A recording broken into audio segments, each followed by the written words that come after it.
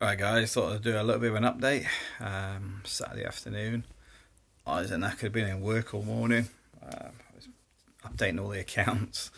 Um, but hopefully by Wednesday, all my work's going to be squared up and up to date.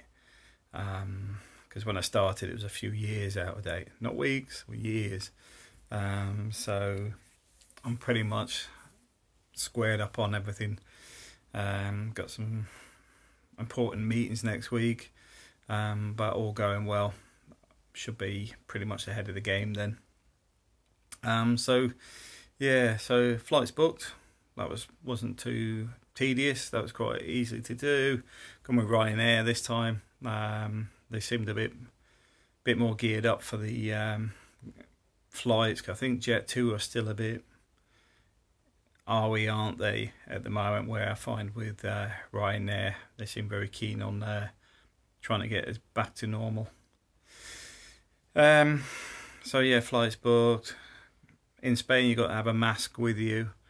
I believe if you're sitting down talking with friends or something, like say in a restaurant, you can take your mask off. But when you get up, you've got to put your mask on.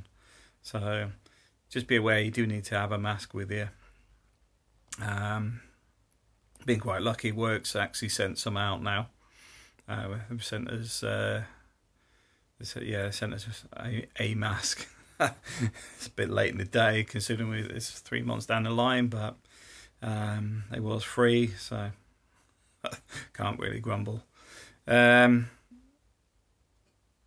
yeah, parking's expensive in Birmingham at the airport, so be warned. Um, I think because of the social distancing things. A lot more people using the cars rather than the trains, and I think the Ubers are cancelled at the moment.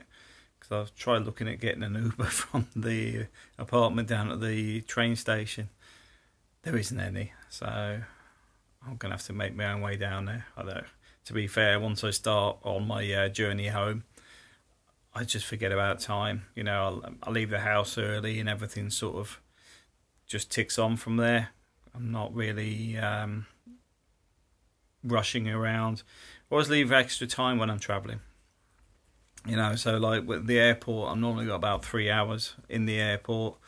Um, my train is normally got a bit of leeway as well, so if the train's late and have to get the next one, doesn't really affect the flight, so it doesn't really cause any undue stress or something. You know, because I know some people get, oh, am I late, or they uh, they leave the house late, all this sort of stuff.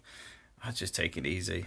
You know, at the end of the day, it's there's enough stress in life without adding to it. Um, so yeah, you probably know it's good. I can see my eyes, the the sort of glistening. They're knackered.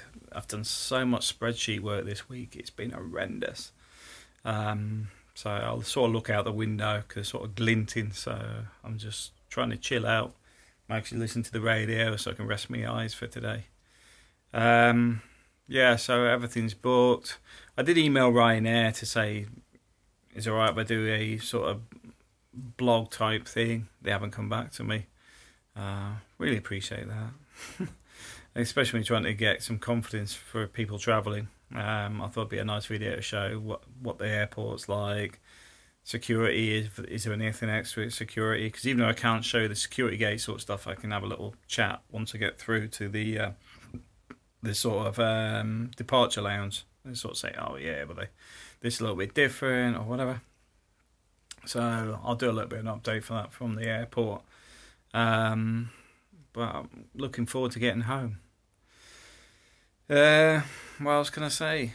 I mean I know a lot of people are worried about this COVID situation, but personally, I'm just sort of like, okay, what happens, happens, you know. Um, there's no point me taking as much uh, safety precautions as as I can when you get large parts of the population that completely ignore it. Um, I think there was Brighton or somewhere, Bournemouth, I'm not sure at the weekend. I just basically seen on the TV, but it's just as expected. A lot of people clustered together and whatever. Um, it, you you can't inject common sense to some people. They, it'll always be someone else's fault. So, for me, there's no beating that sort of stuff. They will always do it.